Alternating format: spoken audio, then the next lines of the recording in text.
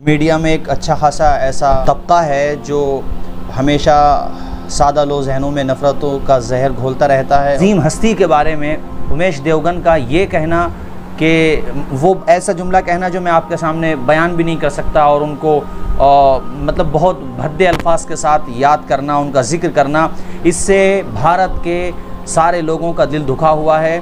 पूरे भारत में इसके खिलाफ एफ़ आई आर होना नाजरीन कराम वरहमतुल्लाहि मैं हूँ आसिफ रज़ा और आज एक ख़ास टॉपिक पर बात करने वाला हूँ। जी हाँ मेरे दोस्त और साथियों, आज एक बहुत ही बड़ी ख़बर आप लोगों के लिए लेकर के हाजिर हूँ और यकीन मानता हूँ कि आप लोग इस खबर को पूरा वॉच करेंगे। मेरा आप लोगों से यही यकीन है और उम्मीद करता हूँ, क्योंकि आज का टॉपिक जो है बेहद ही ज़्यादा ख़ास है।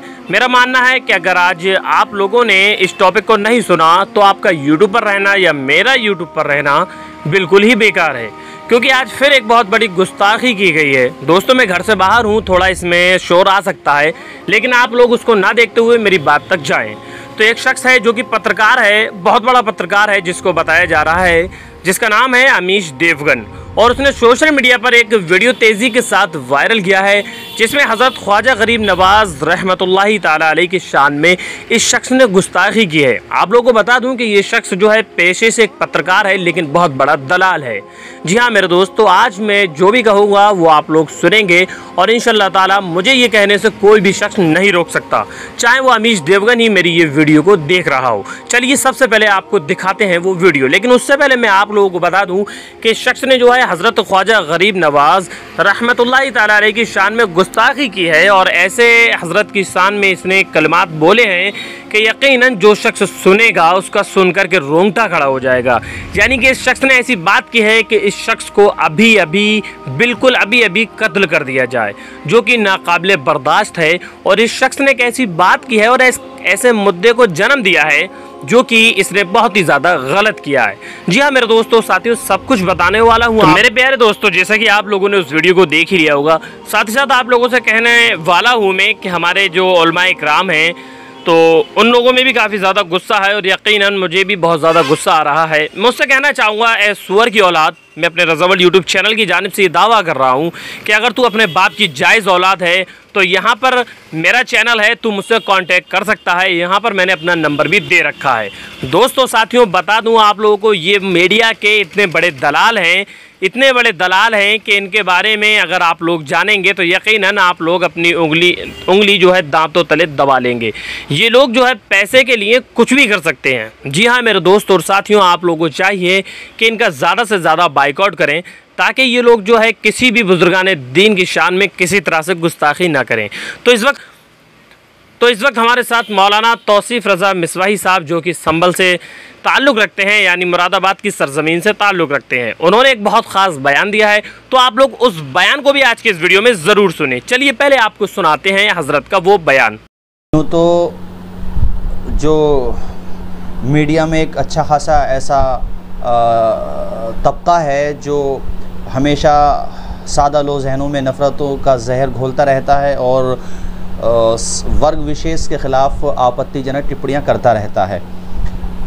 बर्दाश्त बहुत करते हैं हम लोग वो बर्दाश्त करना भी चाहिए, अपने वतन से मोहब्बत है और यहाँ का माहौल ख़राब ना हो। उसके लिए ज़ब्त हर तरीके से किया जाता है। कायदीन मजहबी हों या पॉलिटिकल लीडर्स हों, सब ज़ब्ती और सब्र ही की तलकिन करते हैं।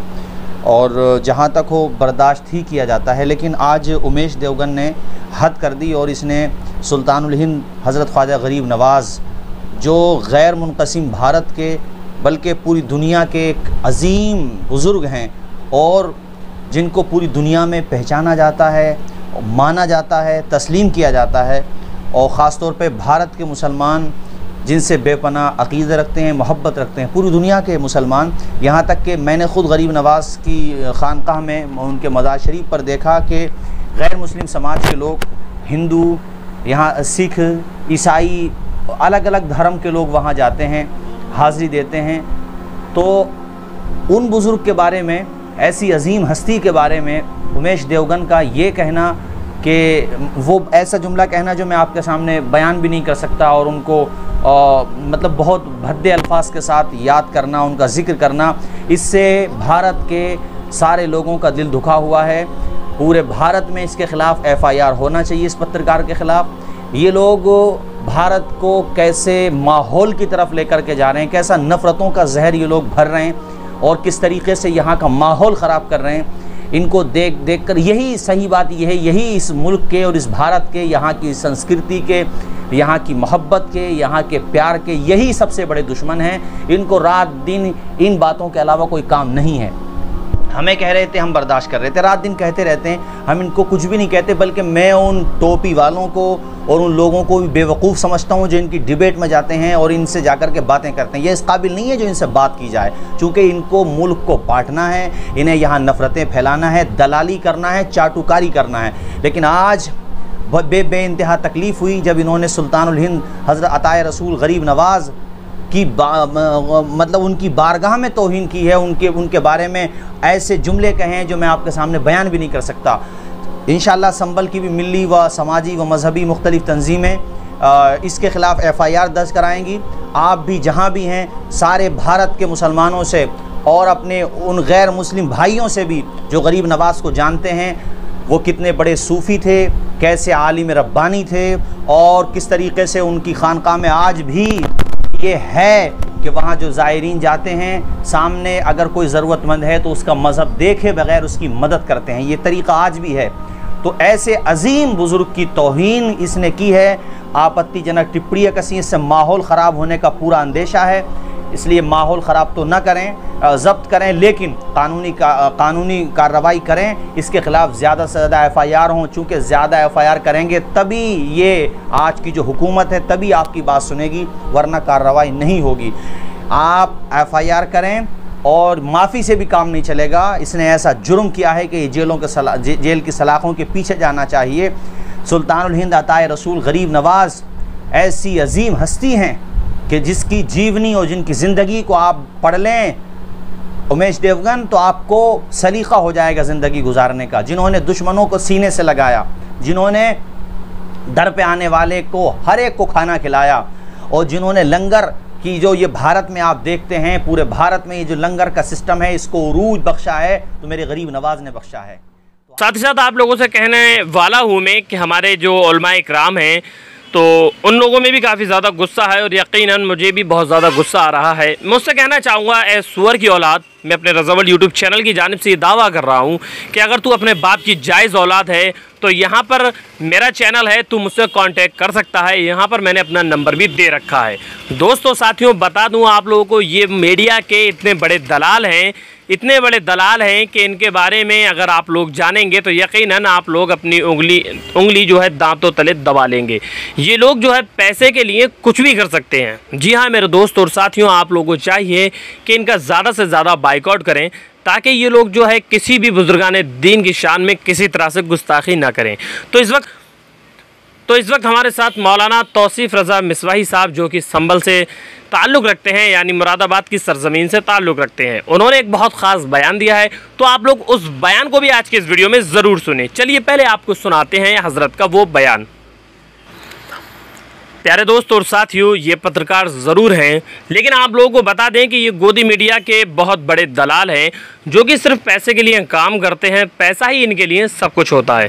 पैसे के लिए जो है, ये अपनी इज़्ज़त भी दाव पर लगा सकते हैं, यहाँ तक कि ये लोग जो है, नंगा नाच भी कर सकते हैं। सिर्फ़ शर्त यह है कि इन लोगों को भरपूर पैसा दिया जाना चाहिए, इन लोगों के लिए जो है, इज़्ज़त कोई माने नहीं रखती। यानी कि ये अगर पैसों की बात की जाए तो ये अपने घर वालों को भी रोड पर लेकर के आ सकते हैं।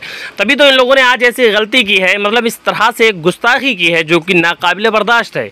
मेरे दोस्त और साथियों, मेरी आप लोगों से गुजारिश है कि मेरी वीडियो ये जहाँ जहाँ तक पहुँच रही है, मैं आप तमामी लोगों से कहना चाहूँगा कि इस वीडियो के ज़रिए आप लोग इस पर जो है अपने करीबी स्टेशन में रिपोर्ट ज़रूर दर्ज कराएँ, ताकि इस शख्स को मालूम पड़े कि इसने हज़रत ख्वाजा गरीब नवाज़ रहमत ताला की शान में जो गुस्ताखी की है, जो कलिमात इसने बोले हैं, जो कि इसको नहीं बोलने चाहिए थे। इसने इतना ज़्यादा गलत कहा है कि यकीन हर शख्स इसको सुनने के बाद अपने आप को संभाल नहीं पा रहा है, जो कि इस शख्स को इस तरह की गुस्ताखी नहीं करनी चाहिए थी।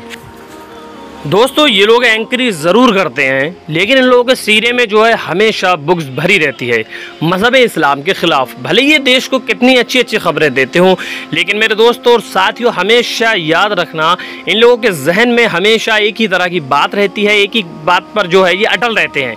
कि हमें मज़हब इस्लाम की किस तरह से बुराई करनी है और मज़हब इस्लाम को किस तरह से हमें निशाने पर लाना है, मज़हब इस्लाम को हमें किस तरह से टॉर्चर करना है, और आखिरकार जब जब ये लोग बात करते हैं और अपनी बात में जहर घोलते हैं।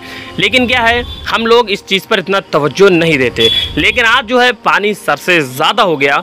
आज इस खबीस ने जो है, जिसका नाम है अमीश देवगन, इसने इतनी बड़ी गुस्ताखी की है, जो कि मेरा मानना है, जो भी आशिक ख्वाजा गरीब नवाज़ रहमत ला इस वीडियो को या इस टाइटल को सुनेगा तो यकीनन अपने आप को नहीं रोक पाएगा। मेरे दोस्तों और साथियों, आज मैं आपसे ये नहीं कहूँगा कि आप लोग मेरा चैनल सब्सक्राइब करें।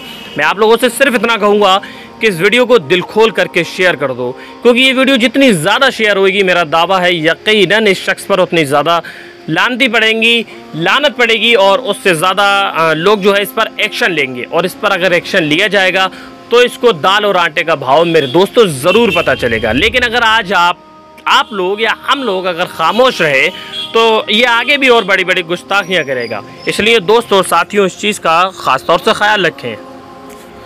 तो दोस्तों, ये एंकर ज़रूर हैं एंकरी ज़रूर करते हैं, लेकिन ये मज़हब इस्लाम पर हमेशा उंगली उठाते हैं। जो जैसा कि आपने देखा कि इस वक्त इन लोगों ने कितनी बड़ी गुस्ताखी की है। दोस्तों और साथियों, मेरी आप लोगों से गुजारिश है, सिर्फ़ इतनी से गुजारिश है, सिर्फ़ इतनी गुजारिश है कि इस वीडियो का दिल खोल करके शेयर कर दो। साथ ही साथ मैं और भी वीडियो बनाने वाला हूँ, जिसमें मैं इस चीज़ का खुलासा करूँगा कि ये कम कौन है, कहाँ का रहने वाला है और किसकी नाजायज़ औलाद है। यकीन मेरे दोस्त और साथियों, बने रहे मेरे चैनल पर। मैं आज इसके बाद जो भी वीडियो लाऊँगा, उसमें तमाम ही तरह के आप लोगों से खुलासे करने वाला हूँ। तो मेरे दोस्तों, साथियों, बस चैनल पर बने रहा हूँ इस वीडियो को दिल खोल करके शेयर कर दें। ये इन ताला, दोस्त और साथियों, ये कुछ ही दिनों में रोता हुआ नज़र आना चाहिए। अल्लाह हाफिज़।